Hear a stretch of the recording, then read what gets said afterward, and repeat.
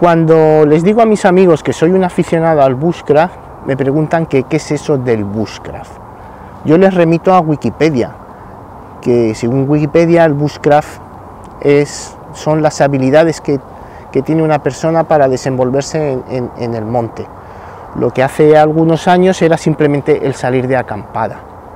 Y lo que seguramente que si vamos a, a los pueblos, muchos de nuestros abuelos o las personas mayores sería su modo de vida de hace unos años.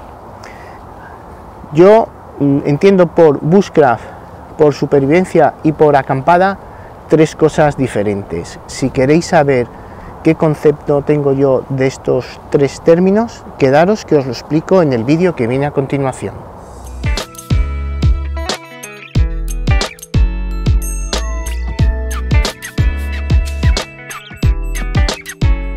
Para mí, Bushcraft es vivir en un entorno natural de una forma sostenible en armonía con la naturaleza respetando todo lo que nos rodea, la flora, la fauna, los animales.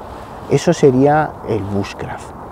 Es parecido a una acampada, solo que eh, mientras que una acampada sería una cosa puntual de un fin de semana, unos días, el bushcraft sería un modo de vida, como puede vivir uno durante toda su vida. Claro, hay que ser realista, yo no me voy a ir a la montaña a vivir en una cabaña debajo de un toldo comiendo moras y cazando conejos. Pero me ayuda a evadirme, a disfrutar de la naturaleza, como os decía, con lo, con lo mínimo imprescindible, siempre y cuando no me ponga en riesgo, no voy a ser tan insensato como irme con un cuchillo y un ferrocerio 15 días a la montaña y a ver lo que cazo y a ver lo que pesco. ¿eh? Eso sería absurdo. Pero eh, sí que me gusta disfrutar de esa forma de la naturaleza. Otra manera de disfrutar que se parece al bushcraft, que en realidad el bushcraft sería la forma de vida de, como os he dicho, de nuestros abuelos o de muchos de nuestros familiares en, cualquier pueblo, ¿eh? sería la acampada. Sería similar, solo que la acampada para mí sería salir un par de días, establecer un campamento, hacer un recorrido, disfrutar también en un entorno natural y respetándolo, aprovechando de las nuevas tecnologías. ¿eh? Mientras que en el bushcraft somos muy dados a hacer un fuego, el ferrocerio, el cuchillo, en una acampada pues llevaríamos un hornillo de gas, llevaríamos un móvil, una navaja, una tienda de campaña, no hace falta hacernos un refugio con unas hojarascas al lado de un árbol. Eh, otro término, que sería la supervivencia, eso sería para mí una situación de emergencia, algo que está imprevisto. Imaginemos pues que vas por una carretera, tienes un accidente de coche, te sales del camino y tienes que sobrevivir hasta que venga un rescate. Eso sería la supervivencia.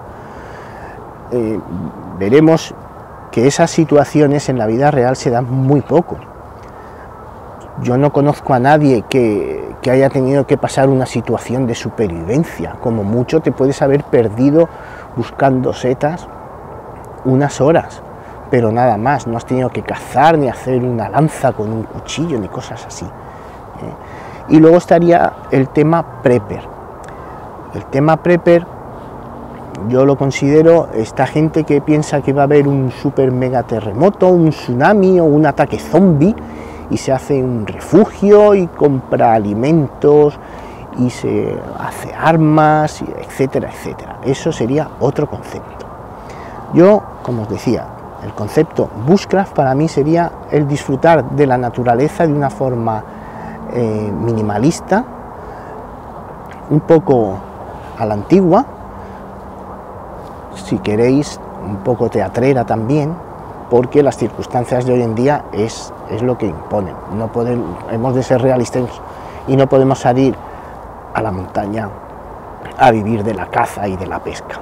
Eso quizás nuestros abuelos hace 100 años, pues igual sí que lo hacían. como os decía, y como os he dicho alguna vez, el bushcraft sería como si queremos plasmar un paisaje, hay quien se compra una cámara de, hacer fotos, que eso sería para mí la acampada, y hay quien se compra un, un equipo de un estuche de acuarelas y lo pinta. Uno lo haría en unos, unas milésimas de segundo y el otro se podría tirar toda la mañana pintando el mismo paisaje. Disfrutarían de la misma manera, solo que el que lo pinta estaría más rato disfrutando. Eso sería para mí el bushcraft y la foto sería la acampada. La supervivencia y el prepper sería otra cosa diferente. Aunque se comparten muchas técnicas, como os digo, yo lo considero cosas diferentes. Yo la supervivencia va más en cosas de un naufragio, lo típico, el piloto de combate que cae tras las líneas enemigas en Vietnam, etcétera, etcétera. Mm, yo, aunque hay técnicas que sí que se pueden compartir, para mí las cosas están totalmente separadas. Estos son los conceptos que yo tengo de estas actividades. Así que chicos, espero vuestros comentarios y os dejo hasta el próximo vídeo. estoy un poquito resfriado. Espero que os haya gustado y como siempre, hasta la próxima compañeros y compañeras.